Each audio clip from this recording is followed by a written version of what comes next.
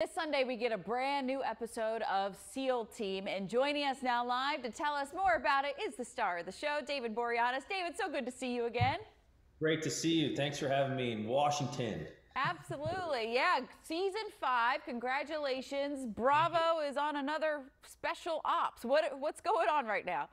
Well, we're, we're actually the, the episode we've seen uh, on Sunday is a two parter. It's, it's the second part of the first one. We're right. in Korea and uh, we're really kicking off the season examining where we left off last year. There was some disruption to the Bravo team, and we see them now actually on this operations, pretty intense operation. Um, it's fascinating about this these two episodes is we didn't fire one shot.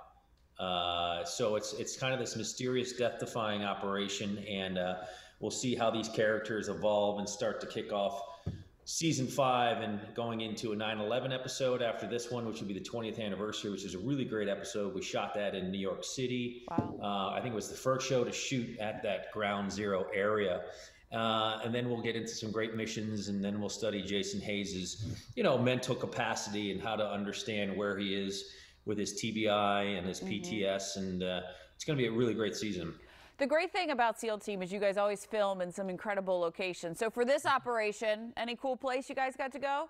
Well, you know, obviously with COVID last yeah. year, we had to kind of be smart and kind of stay local.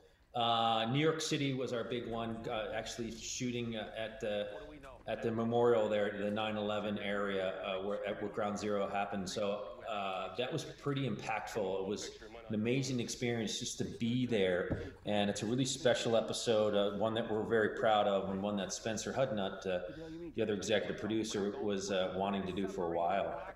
We've been seeing you directing some of the episodes. Are you directing all season? Are you directing a few episodes? How's it going? I, I just finished directing episode eight, uh, which was great. It's definitely a different twist of type of an episode. We uh, open up and see all of Bravo team really wounded and in the hospital.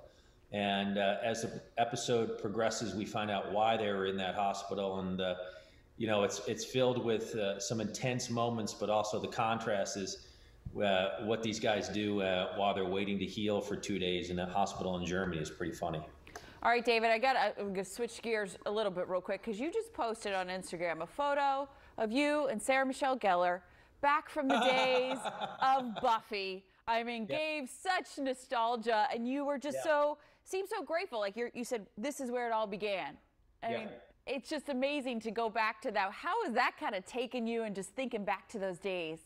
Wow, just a remarkable experience and being able to be on a show like that. I mean you know, I think everybody, it was uh, uh, people that are in this industry uh, that can always remember, you know, when they cut that cloth and how they got in. And uh, for me, it was just a remarkable time and to, to do a show like that. And uh, yeah, it was Throwback Thursday, so yeah. I decided to throw back a little nostalgia. for everybody.